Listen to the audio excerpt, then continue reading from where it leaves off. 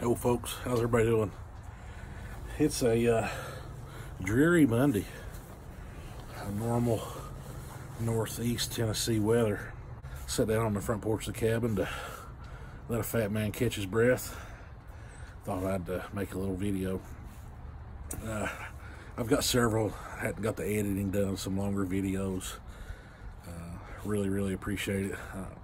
Everybody that watches them, I appreciate you for watching them. Uh, I hope you enjoy them. If you do, subscribe, like, share them, and come back and, and see if other videos. We got we got all kind of stuff. Um, I'm a fat man, so I like to cook. So we do some cooking stuff, and just like to parade around in the woods and sit on the front porch of the cabin, and uh, even had a caught a possum the other day. Made a little video about that. So, and then of course everybody loves the stories, but I really, really appreciate everybody. Over 20 years ago, uh, in high school, I got my driver's license uh, at the sweet age of 16.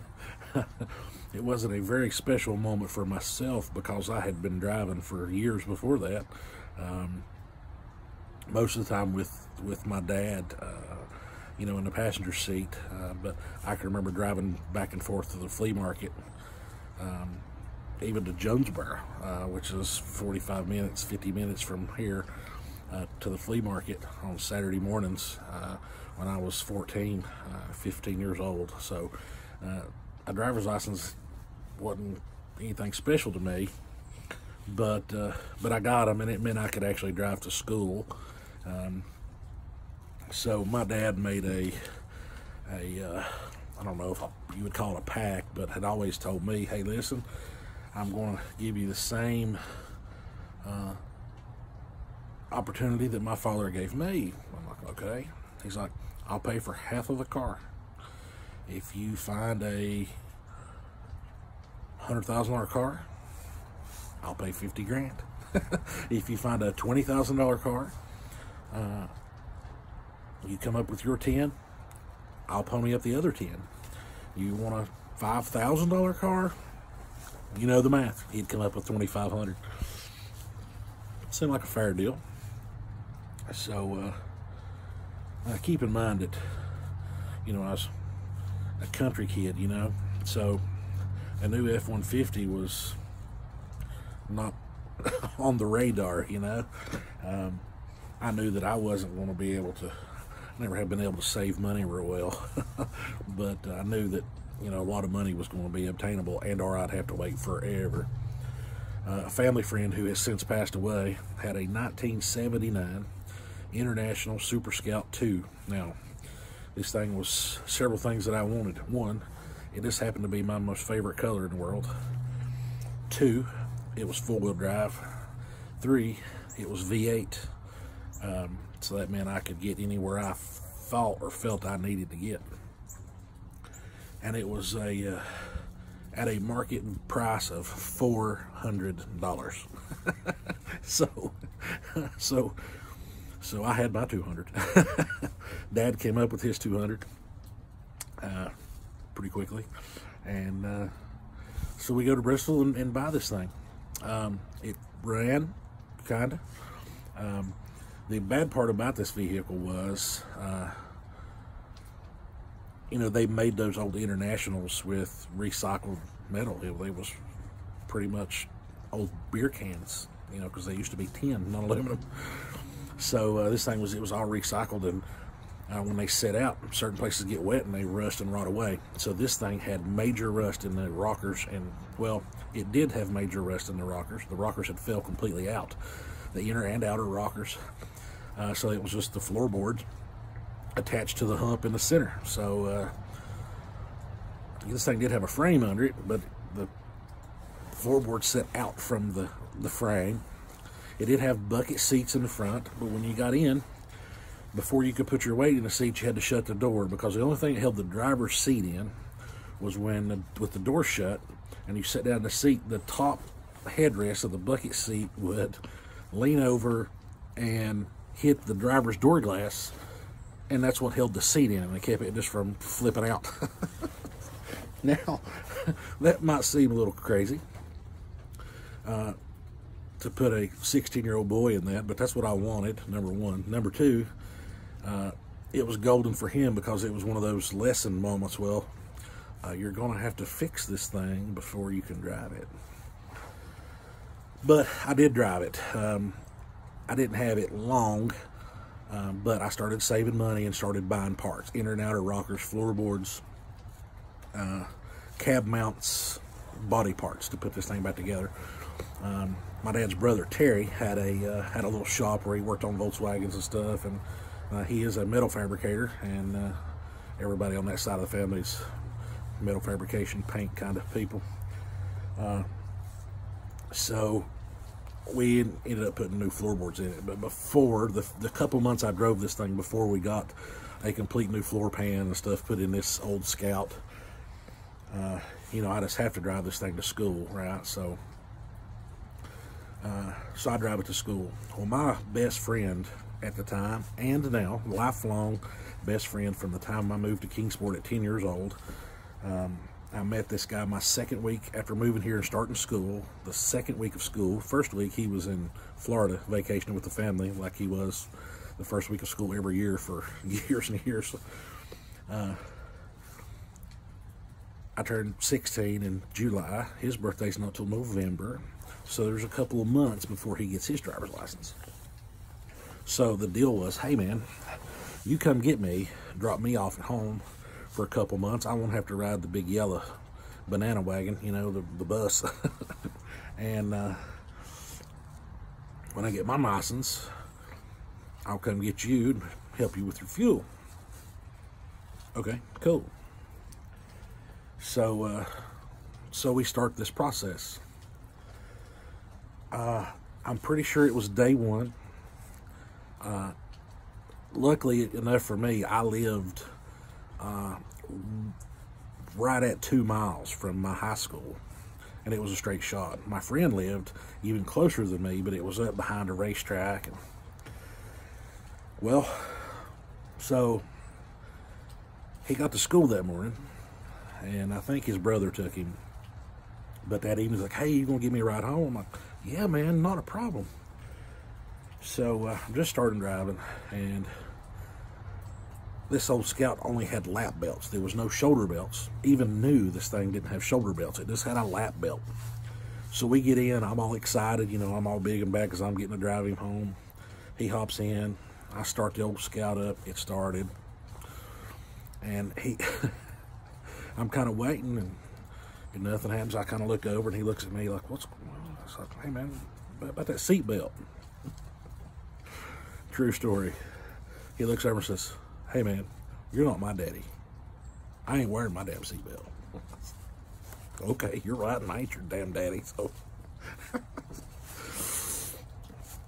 I got mine on, but I just want to be safe, you know. so, so we leave. Uh, we make two right turns, and we're up on the road heading to his house. Uh, not a real busy road, thank God. So we're tooling along. Uh, and this road has a 90 degree left hand turn. so we're tooling up through there, not going super fast. We're doing, you know, 25, 30 mile an hour, one of the slowest moments of driving because I knew the curve was coming. And so we're talking, having a conversation. I'm paying attention to the road. He's just talking and I'm listening. And I make the turn. Well, when I make the turn, it's like you hit the mute button. No more Sam. Zero. No noise. And then before I had time to look over to see why he had shut up, the door slammed shut. Bam. And I hear this god awful smack. Whack. I think, he just jumped out of the damn car. So I look up in the rearview mirror and this seemed like it took minutes between all this, but all this happened within milliseconds, you know. Shuts up, door slams. I look over, he's gone. I look in the rear view, and I catch him. He is parallel with the road, about two foot above it, and smacks the road. True story. Face down, whack. The noise was his right hand. Actually, he was trying to catch himself and pulling his hand down so hard it hit the road. It sounded like you'd slap the water with a boat paddle, just whack. so my first thought was, I have killed my best friend. Oh God. So then the second thought is, is well, what am I going to do? You know, 16 year old mind, okay? Keep that in mind, people. Oh my God, what am I going to do? I, I, and I don't have no emergency brake, and it's on a, an incline hill after the curb, so it ain't like I can just stop. And so all this is rattling through my head. I'm like, oh my God, I just killed my best friend. Whack, the door jerks back open. Sam dives back in the car. The door slams shut. Click, seatbelt. so then terror turns into laughter as he's looking at me and says, Not a damn word, Kevin, not a word. so, anyway, we went through this 90 degree turn, and that old rust bucket of a scout flexed so much because the body was just that rotten that he was leaning against the door and the door actually picked itself up off of the striker. Um, they didn't used to go completely around, they just kind of hooked like this. So it come up and opened and out he went. How I didn't run over Sam is, is beyond me. I guess just the fact that we went around the curve and we had just enough momentum that it slung him out instead of just down. Uh, it would have killed him if I'd have run over him, and boy, I'm glad it didn't. Uh, that's that is one of very many stories. Us that old scout. Uh, there's another one with when we had no brakes and we literally Dukes of Hazzard to this old scout off into a field, terrified because traffic had stopped in front of us and had no brakes. Uh, wow, sometimes uh, we even had some times in a couple of his cars. Um, we, we were both in our 40s and it's surprising to both of us. we done some stupid stuff. On a side note, uh, Sam is my best friend, and uh, when people ask, I, I refer to him as my brother. Um, I have a, a younger sister uh, uh as my only sibling, but Sam is is just as close to any brother that I could have. Um, uh, we started out life just in stories back and forth of of this this dude that was going to be my arch rival, and I was the new guy. Come to find out that after I'd made uh, my newest and lifelong best friend, uh, you know, we were supposed to be these big enemies at the school, you know. But uh, didn't work out that way for everybody. But always, it always didn't. Always through through life, he actually had a uh, counselor at uh, our high school tell him well, you'll never even remember his name in 20 years. And uh, Sam told this counselor, You want to bet? We're best friends and we'll always be best friends. And uh, I even made the comment to my counselor after he had that little scenario. I'm like, hey, one of your cohorts you know, told my best buddy we wouldn't even know each other's names once we graduated high school. And it's like, well, they're, they're probably right, Kevin. I'm like, no way. You know, this is this is my best friend. um, just so you know, if those counselors are still alive, you were both wrong. we are now best friends, just like we have been since we were 10 years old. Um, there ain't uh, nothing he could call an ass that I wouldn't help him with, and vice versa. Uh, course, I have a family of my own, and he has a family of his own.